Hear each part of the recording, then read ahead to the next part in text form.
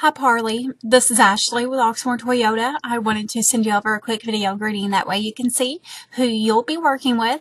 I noticed that you are interested in one of our 2016 Tundras. This one is still currently available. I went ahead and sent you over an email with my contact information.